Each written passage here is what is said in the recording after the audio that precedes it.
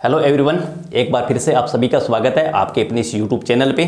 और आज की इस क्लास में हम एक बार फिर से डिस्कस करने वाले हैं इनकम टैक्स की सेक्शन 43 बी क्लोज एच के बारे में।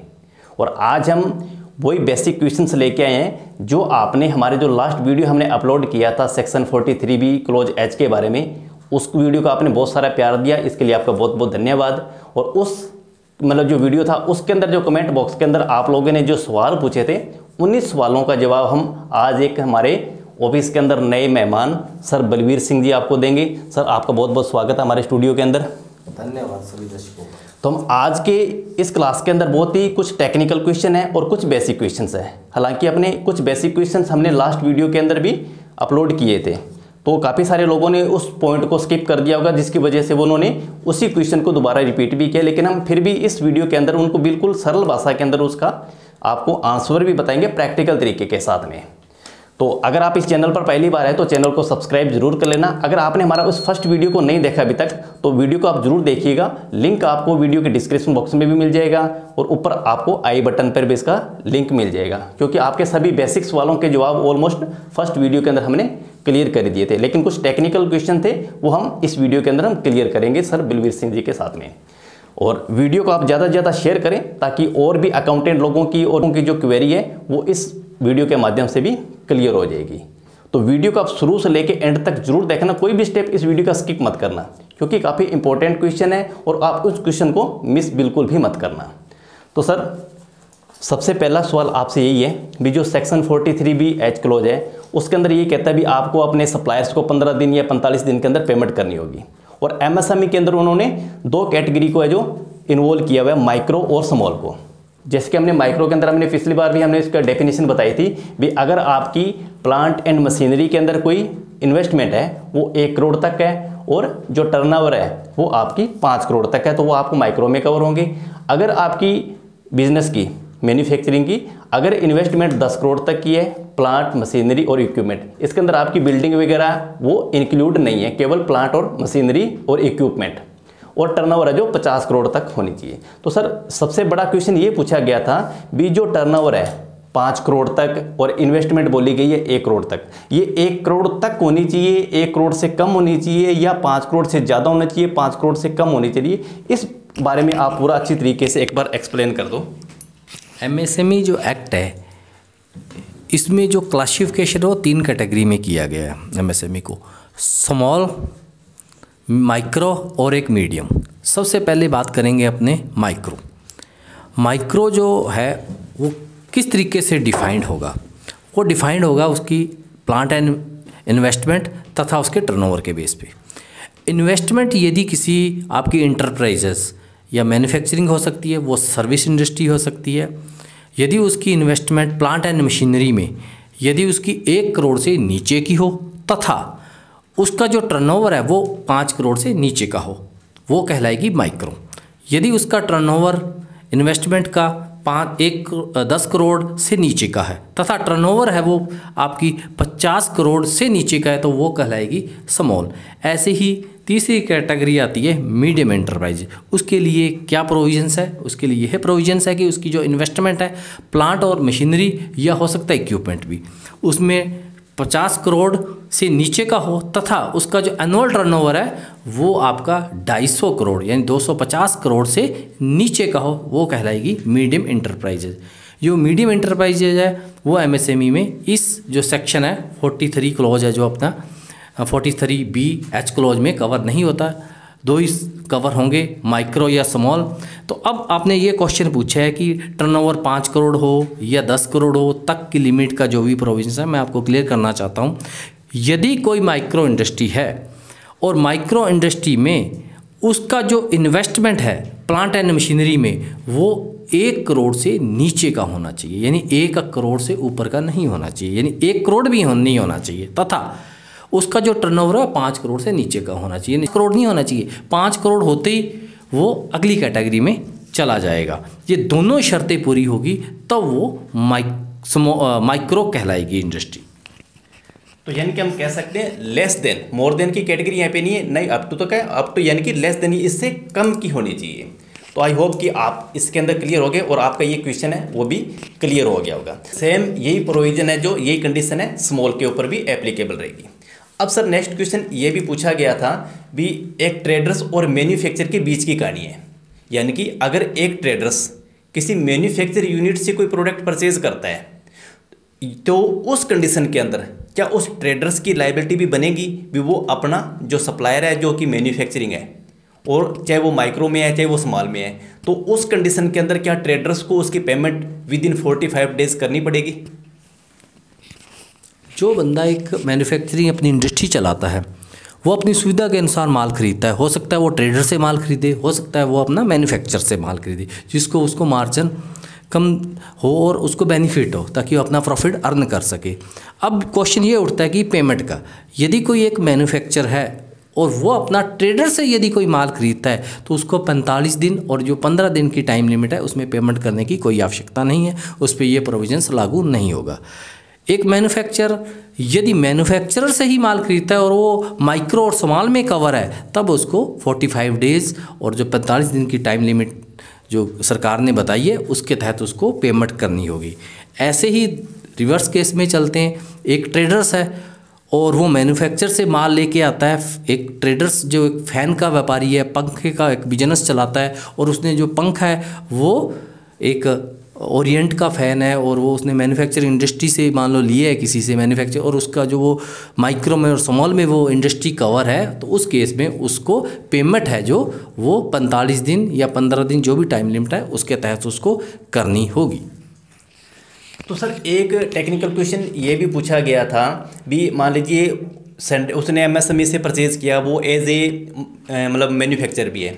लेकिन उसने मान लीजिए लास्ट के दौरान उसकी टोटल अमाउंट में से इनवॉइस के अमाउंट में से पाँच हज़ार रुपये की अमाउंट उन्होंने रोक ली। रोकने की कंडीशन ये थी, भी अब मान वो आपका मैन्युफैक्चर कहता है, भी हम इसका आपको क्रेडिट नोट इशू कर देंगे।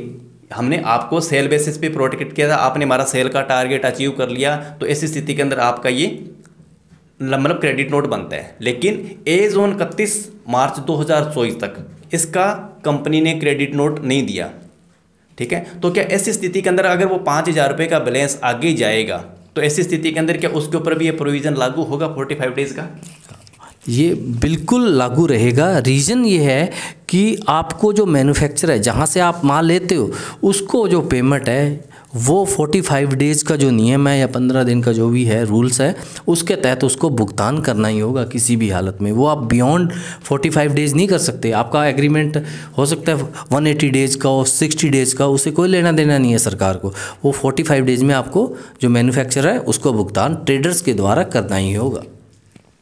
ठीक है थैंक यू सर क्योंकि इस टाइप का क्वेश्चन जिन्होंने भी पूछा था तो उनके एक बात ये क्लियर है, भी मान लीजिए आप इस बात में मत रहना, भी ये हमारा पाँच हज़ार रुपये का जो क्रेडिट नोट है, ये तो हमें क्रेडिट नोट के अगेंस्ट में हमारा अकाउंट है जो क्लोज हो जाएगा। लेकिन बट सरते ये भी आपका इकतीस तीन दो हज़ार चौबीस से पहले पहले वो आपका क्रेडिट नोट आपकी बुक्स ऑफ़ अकाउंट्स के अंदर क्लियर हो जाना चाहिए। अदरवाइज़ आप सोचते भी इसके जो हमारा क्रेडिट नोट है, वो नेक्स्ट फाइनेंशियल ईयर के अंदर आ जाएगा। ऐसा बिल्कुल भी नहीं है, आपको within forty five days या इकतीस मार्च दो हज़ार चौबीस से पहले वो आपका अकाउंट है जो क्लियर होना चाहिए, बसरते चाहे वो क्रेडिट नोट का ही क्यों ना बैलेंस हो।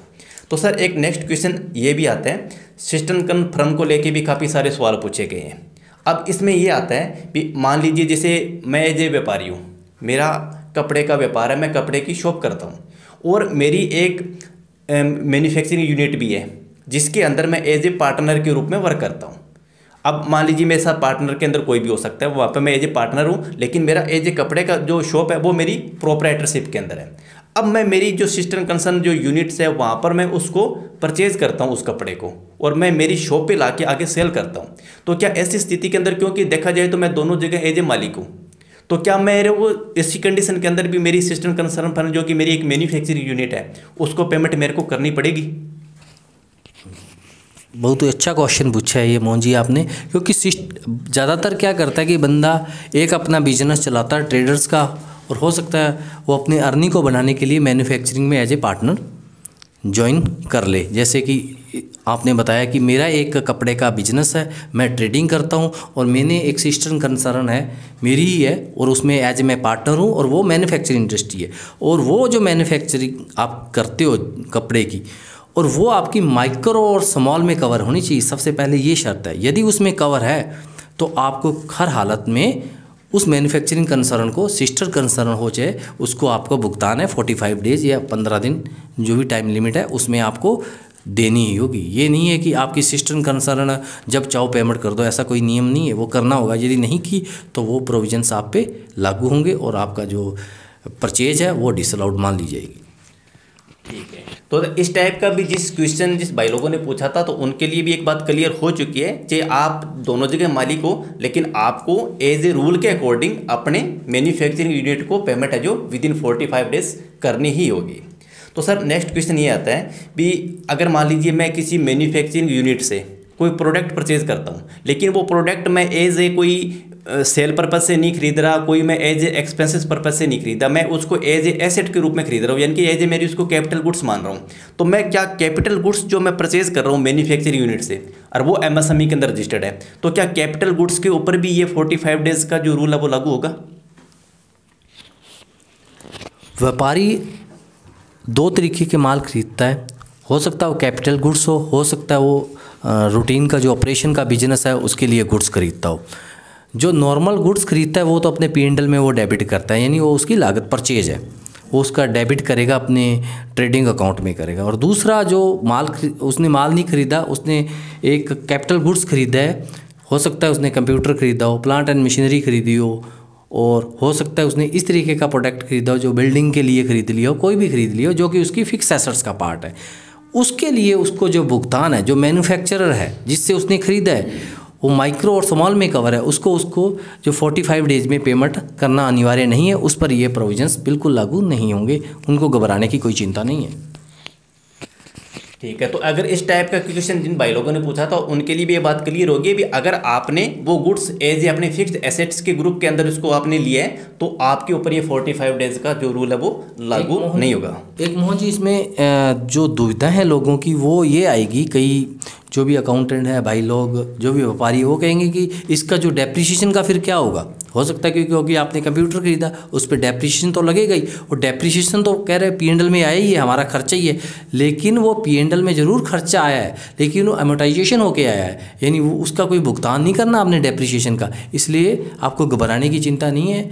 आप निश्चिंत रहें कि यदि कैपिटल गुड्स है, कोई खरीदा है और वो फिक्स एसेट्स है आपकी कंज्यूमर गुड्स नहीं होना चाहिए। बस। आपका यदि वो फिक्स एसेट्स है तो उसकी पेमेंट 45 डेज़ में या 15 दिन में करने की कोई आवश्यकता नहीं है। ठीक है यानी कि जो डेप्रिसिएशन है वो आपका अलाउ होगा उसको डिसअलाउ के अंदर नहीं माना जाएगा बसरते वो चाहे वो पिंडल का भी खर्चा क्यों ना हो। तो सर नेक्स्ट क्वेश्चन ये भी लोगों द्वारा सबसे ज़्यादा पूछा गया है भी अगर हम हमारे सप्लायर्स को एमएसएमई को अगर 45 डेज़ के अंदर अगर भुगतान नहीं करते हैं तो इसके ऊपर इंटरेस्ट का क्या प्रावधान है? व्यापारी लोगों के कई बार क्या कि पेमेंट नहीं होती टाइम से। हो सकता है वो क्रेडिटर्स को भुगतान टाइम से ना कर पाएँ। फोर्टी फोर्टी फाइव डेज़ में या सिक्सटी डेज़ में करते हैं या जो उनका टर्म कंडीशंस है। इस केस में क्रेडिटर्स को जो भुगतान अपने नहीं करते, जो मैन्युफैक्चरिंग इंडस्ट्री से आपने कोई माल ख़रीदा है, आप एक ट्रेडर हो मैन्युफैक्चरिंग से आपने माल खरीद लिया और पेमेंट आपको उसने टाइम से नहीं करी तो जो इंडस्ट्री मैन्युफैक्चरिंग है वो आपसे ब्याज लेगी। क्रेडिटर्स पर, जो आपने माल खरीदा है, क्योंकि आपके तो वो क्रेडिटर्स ही हैं, माल इंटरेस्ट चार्ज करेगा। सबसे पहले क्वेश्चन ये आता है कि इंटरेस्ट क्या होगा? कोई इंटरेस्ट दो परसेंट लेता है, कोई दस परसेंट लेता है, कोई आठ परसेंट है, कोई अठारह परसेंट लेता है। लेकिन एमएसएमई एक्ट में जो सेक्शन सोलह हैं, उसमें स्पष्ट क्लियर लिखा हुआ है कि आपको जो इंटरेस्ट है, जो बैंक की निर्धारित दर है, उसका तीन गुना इंटरेस्ट आप चार्ज कर सकती है वो इंडस्ट्री कि इंटरेस्ट बैंक का आठ परसेंट है तो तीन गुना हो गया, यानी मोटा मोटा दो रुपये सैकड़ा यानी चौबीस परसेंट इंटरेस्ट वो चार्ज करेगी। अब चौबीस परसेंट इंटरेस्ट तो चार्ज कर दिया, अब वो खर्चा है जो पी एंडल में आएगा। अब पी एंडल में जब खर्चा आएगा तो इनकम टैक्स एक्ट कहता है कि हम इस खर्चे को अलाउड नहीं करेंगे भाई, क्योंकि ये तो पैनल इंटरेस्ट है आपका। क्योंकि ये तो आपके दंड लगा हुआ है तो इस तरीके का जो खर्चा होगा इंटरेस्ट का जो खर्चा है, वो बिल्कुल भी पींडल में आएगा। लेकिन वो एज ए डिसअलाउड एक्सपेंडिचर माना जाएगा, उसकी आपको सुविधा, छूट नहीं दी जाएगी। ठीक है। सर, ये कंडीशन लागू होती है, अगर हम एमएसएमई को, यानी कि सप्लायर्स को अगर 45 डेज़ के अंदर भुगतान नहीं करते हैं तो? अगर हम within forty five days भुगतान कर देते हैं, और उसके बावजूद भी अगर हमारे से वो इंटरेस्ट ले रहे हैं, हम विद इंटरेस्ट है जो पेमेंट कर देते हैं within forty five days तो क्या ऐसी स्थिति के अंदर जो हमारा जो इंटरेस्ट का जो एक्सपेंसेस है, वो हमारा पी में बुक होगा? हाँ क्योंकि उसमें डिले ऑफ़ पेमेंट नहीं है ये, क्योंकि आपने 45 डेज़ के बाद नहीं है विद इन फोर्टी डेज़ में यदि पेमेंट करी है बिल्कुल, वो तो अलाउड मान लिया जाता है। वो अलाउड नहीं है, क्योंकि डिले ऑफ़ पेमेंट यदि आपने करा है फोर्टी डेज़ दिन के बाद, और वो बाद में इंटरेस्ट चार्ज करता है वो बंदा, तब दिक्कत है। यदि भुगतान ही नॉर्मल रूटीन में चल रहा है और 45 डेज़ में ही करे वो तो आपका इंटरेस्ट नॉर्मल इंटरेस्ट है। यानी वो इंटरेस्ट पैनल नेचर का नहीं है। वो तो माल खरीदता है, पंद्रह दिन के बाद यदि उसकी कंडीशन है कि मैं पंद्रह दिन में आपको भुगतान करूँगा तो सोलह दिन में इंटरेस्ट चार्ज करेगा। लेकिन एक दिक्कत है इसमें सबसे ज़्यादा, वो मैं आपको समझाता हूँ। क्या है कि फोर्टी फाइव डेज़ मैक्सिमम एक टाइम लिमिट डिसाइड कर रखी है। वो जो जिससे आप माल खरीदते हो, वो कह देता है कि मैं तो आपकी पेमेंट तीस दिन में लूँगा। तो आपको भुगतान तीस दिन में करना होगा न कि फोर्टी फाइव डेज़ में। अब तीस दिन के बाद आप तो कहते हो जी, उसमें तो पैंतालीस दिन की टाइम लिमिट है। जो पंद्रह दिन का जो टाइम गैप है, आप कहते हो जी, उसका जो ब्याज है, वो तो मैं लगा सकता हूँ। नहीं, ऐसा कोई प्रोविजंस नहीं है। आपको बेसिकली जो डिले ऑफ़ पेमेंट यदि आप क्रेडिटर्स की करते हो, उसका यदि कोई ब्याज है तो आपको वो अलाउड नहीं किया जाएगा, वो डिसअलाउड होगा। नॉर्मल इंटरेस्ट है, वो तो अलाउड ही है, उसमें तो कोई समस्या ही नहीं आती। बैंक का भी तो इंटरेस्ट है ही आपका, वो भी तो आप देते ही हो, वो भी तो अलाउड ही है, उसमें कोई समस्या नहीं है। यदि क्रेडिटर्स है डिले ऑफ़ पेमेंट कोई इंटरेस्ट है पैनल नेचर का इंटरेस्ट है, वो आपका अलाउड नहीं है, वो आपका खर्चा डिसअलाउड कर दिया जाएगा। सर अब एक क्वेश्चन ये भी पूछा गया था अभी मान लीजिए हमने किसी सप्लायर्स को फोर्टी फाइव डेज़ की बजाय हमने फोर्टी फोर्टी यानी कि चुमालीस दिन के अंदर होती हमने हमारे सप्लायर्स को चेक इशू कर दिया। लेकिन आगे छुट्टी होने की वजह से या सप्लायर्स ने वो चेक का जो बैंक के अंदर पास नहीं दिया। अब मान लीजिए वो हमारी बैंक से पेमेंट जो निकलती है, वो फोर्टी एट डेज़ के निकलती है, यानी कि चार मतलब पैंतालीस दिन के तीन दिन बाद निकलती है। तो क्या ऐसी स्थिति के अंदर हमारे ऊपर ये चार्ज होगा एप्लीकेबल होगा? फोर्टी फाइव सेक्शन है जो। यदि आप प्रॉपर चेक दे देते हो और उसका आप कॉपी रख लेते हो अपनी फाइल्स में लगाकर तो वो जर्नली उसको कवर कर लिया जाएगा, क्योंकि ये कोई बड़ा इशू नहीं है। हो सकता है बैंक में ज़्यादातर चेक है जो दो से तीन दिन में क्लियर होता है, लेकिन अधिकांश जो इंडस्ट्रीज़ है, आजकल वो एनएफटी का यूज़ करती है नेफ्टा यस करती है तो सेम डे क्लियर हो जाता है। उसमें कोई समस्या नहीं है। यदि आप पेमेंट कर देते हो और वो दो तीन दिन के बाद चेक क्लियर होता है तो उसमें कोई ज़्यादा परेशानी की दिक्कत नहीं आएगी आपको। क्योंकि उसमें ठीक है, आपका स्पष्टीकरण है कि मैंने चेक दे दिया था, उसने नहीं चेक लगाया, दो दिन के बाद लगाया तो ये चेक तो क्लियर हो ही गया, उसमें ज़्यादा दिक्कत नहीं है। क्योंकि वैसे देखा जाए तो हमारी बुक्स ऑफ़ अकाउंट्स के अंदर जो हमारी डेट ऑफ़ एंट्री रहेगी वो फोर्टी मतलब चुमालीस दिन की ही मानी जाएगी। तो सर नेक्स्ट क्वेश्चन ये भी सबसे ज़्यादा पूछा जा रहा है भी जो कमीशन एजेंट्स के जो व्यापारी होते हैं, जिसको हम दान मंडी के आड़त के व्यापारी बोल देते हैं, कच्ची आड़त के व्यापारी, पक्के आड़त के व्यापारी, क्या वो भी इस सेक्शन के अंदर एप्लीकेबल है?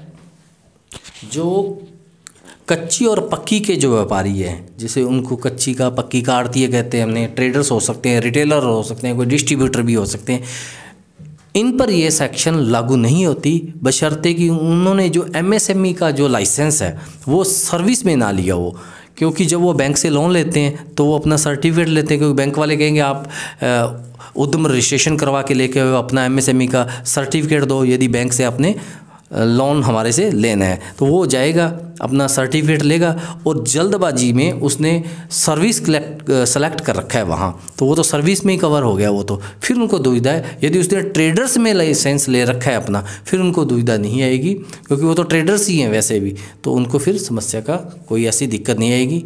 तो जो कच्ची आड़त के और पक्की आड़त के व्यापारी हैं, उनको कोई परेशानी का वैसे दिक्कत नहीं आएगी इस सेक्शन के लिए।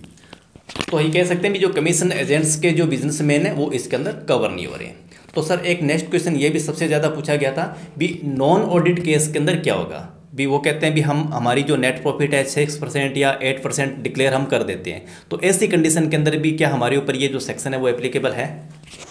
ऐसे कर देता जो अपनी बुक्स ऑफ़ अकाउंट नहीं रखना चाहते, वो अपना प्रॉफिट है, जितना भी टर्नओवर है, उसका छः परसेंट और आठ परसेंट जो भी जिस पे भी लागू होता है, उसके तहत अपना प्रॉफिट डिस्क्लोज करके अपनी रिटर्न दाखिल कर रहे हैं वो। उस पर ये सेक्शन लागू नहीं होगी, क्योंकि इनकम टैक्स में जो सेक्शन है, ये जो नई धारा है, जिसमें दुविधा हैं आपको, उसमें ये लिखा हुआ है कि जो सेक्शंस है प्रजम्पटिव इनकम जो है, जब अपने रिटर्न प्रजम्पटिव इनकम्स के तहत अपने भरते हैं तो इनकम टैक्स में सेक्शन 28 से लेकर तैतालीस सी तक की सेक्शन मान ली जाती है, उसका बेनिफिट उसको दे दिया गया है तो वो फालतू में ये नहीं है कि उसको डिसअलाउड कर दिया जाएगा, ऐसा नहीं है। यदि कोई बंदा स्पष्ट तौर से जिसका टर्नओवर ऑडिटेड नहीं है अनऑडिटेड है वो फाइलें छोटा टर्नओवर है, एक करोड़ का है मान लो, और वो आठ परसेंट प्रॉफिट डिस्क्लोज करता है, आठ लाख रुपए उसने इनकम दिखाई और अपनी आईटीआर सबमिट कर दी है। इधर से उसके क्रेडिटर्स हैं, उसने भुगतान नहीं करा, साठ दिन तक उसने भुगतान नहीं करा और वो जो क्रेडिटर्स हैं, वो मान लो पंद्रह लाख रुपए के हैं तो पंद्रह लाख के ये नहीं है कि पंद्रह प्लस आठ कर दिया जाएगा, ऐसा नहीं होगा। उसको जो टैक्स देना है, वो आठ लाख की इनकम पे देना है, यानी क्रेडिटर्स है, उस पर उसको समस्या नहीं आएगी भुगतान बाद में भी कर सकता है। तो हम कह सकते हैं, इसके अंदर फोर्टी फोर वाले कवर नहीं होंगे। तो सर नेक्स्ट क्वेश्चन ये भी आ रहा है भी अगर हम किसी एमएसएमई से, यानी कि कोई मैन्युफैक्चरिंग यूनिट है उससे हमें एज ए अनसिक्योर्ड लोन के रूप के अंदर हमने पैसा ले रखा है। तो क्या वो अनसिक्योर्ड लोन का जो पैसा है, वो भी हमें within forty five days के अंदर करना होगा? अनसिक्योर लोन का मतलब ही लॉन्ग अपने जो बिज़नेस चलाते हैं अनसिक्योर लोन लेते हैं, क्यों है? पंद्रह दिन के लिए, पैंतालीस दिन के लिए तो लेंगे ही नहीं। वो तो एक साल, दो साल के लिए लेंगे, ताकि अपने धीरे धीरे उसको जैसी प्रॉफिट हो और अपने उसको पेमेंट कर दें। यदि कोई एमएसएमई से, यदि आपने अनसिक्योर लोन ले रखा है और आपकी इंडस्ट्री है जो वो मैन्युफैक्चरिंग है या ट्रेडर्स है, जो भी है, और एमएसएमई से आपने यदि कोई माइक्रो स्मॉल से यदि अनसिक्योर्ड लोन ले रखा है तो उस पर यह सेक्शन लागू नहीं होगा। आप ज़रूरी नहीं है कि उसका साठ दिन में भुगतान करो, पैंतालीस दिन में करो पंद्रह दिन में करो, कोई ऐसी टेंशन नहीं है, क्योंकि उसमें आपको डरने की आवश्यकता नहीं है। और उसके साथ साथ ही यदि उस पर इंटरेस्ट भी चार्ज हो सकता है, क्योंकि अनसिक्योर लोन का इंटरेस्ट है, वो भी तो आपका पी में खर्चा आएगा, वो भी आपका बिल्कुल अलाउड माना जाएगा, उसमें कोई भी घबराने की चिंता नहीं है। तो सर, ये काफ़ी सारे मोस्टली क्वेश्चन थे जो हमारे लास्ट वीडियो के अंदर कमेंट बॉक्स में लोगों के द्वारा पूछे गए थे। अब सर, एक इंपॉर्टेंट क्वेश्चन ये है एज ए अकाउंटेंट की व्यू से। मैं आपसे एज ए अकाउंटेंट की व्यू से ये क्वेश्चन कर रहा हूँ। अगर इस वीडियो को कोई अकाउंटेंट की व्यू से देख रहा है तो इस क्वेश्चन को आप ज़रूर ध्यान से देखिएगा। तो सर, मान लीजिए इकतीस तीन चौ तीन, दो हज़ार चौबीस की जो बैलेंस शीट बनेगी, उसके अंदर मेरे क्रेडिटर्स भी होंगे। तो आप उस क्रेडिट को किस व्यू में देखोगे? कैसे पता चलेगा आपको भी कौन से 45 डेज़ से पहले के हैं, कौन से बाद के हैं, कौन सी की पेमेंट आगे हो चुकी है?